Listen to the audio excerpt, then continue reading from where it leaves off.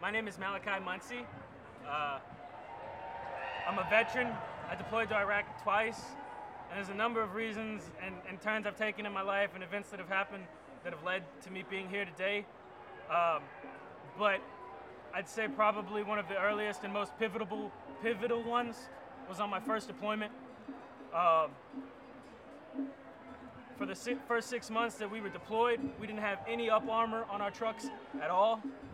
And we brought that to everybody's attention and said, well, we don't have the capability, we don't have the money, we don't have this, we don't have that.